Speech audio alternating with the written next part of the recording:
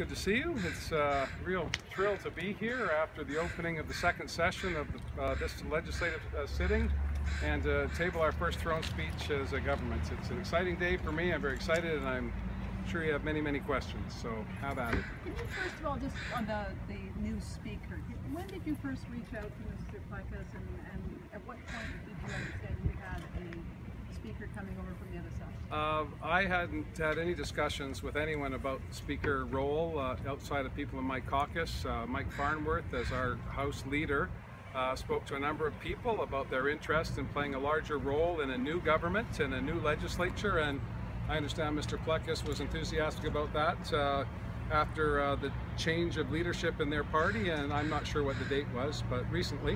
What does it mean for the stability of your minority government? Uh, well, I'm very pleased not just for the stability it brings to this legislative session, but for the symbol it, it sends to British Columbians that uh, New Democrats, Greens, and a Liberal have demonstrated that we can work together on the things that matter to people. And the challenge, of course, is that uh, we have to uh, work with everybody in the legislature. We've demonstrated that on our first day that we can do that, and I hope that we'll do that tomorrow too. Okay.